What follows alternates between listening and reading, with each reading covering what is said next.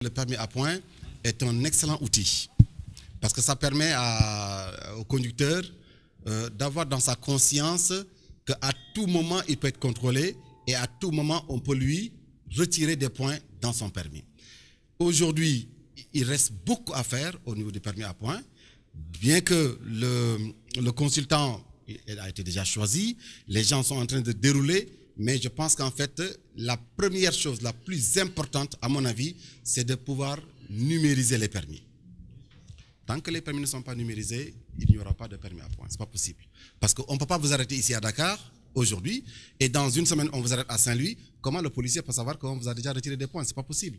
Donc en fait, il faut que également que non seulement que les permis soient numérisés, mais que les policiers et les gendarmes puissent être dotés de matériel pour en fait l'opérationnalité de ce projet. C'est-à-dire avoir un terminal dans lequel on introduit le permis pour avoir connaître le solde, mais surtout également qu'ils aient des cinémomètres pour contrôler les vitesses sur la route. Et tant que ces éléments ne sont pas présents, à mon avis, il sera très difficile de mettre en œuvre le permis à point. Mais je rappelle que le permis à point est un excellent outil parce que ça permet de responsabiliser les conducteurs.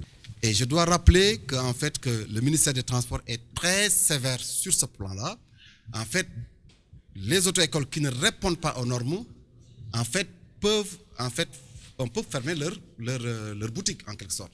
Parce qu'il ne faut pas qu'on considère les auto-écoles comme étant des boutiques où les gens viennent négocier le permis de conduire, je pense qu'en fait ça, ça ne correspond pas à ce Sénégal qui aspire à l'émergence. Aujourd'hui, le ministère est très intransigeant.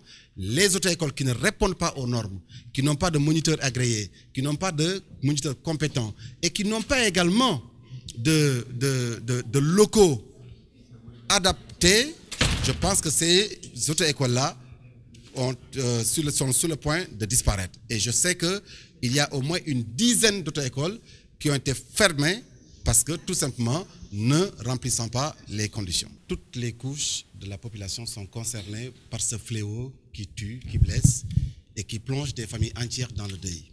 Je pense qu'aujourd'hui, euh, compte tenu des résultats catastrophiques que nous avons, que ce soit dans le monde et dans nos pays, surtout au Sénégal, je pense qu'aujourd'hui, il est temps qu'on agisse.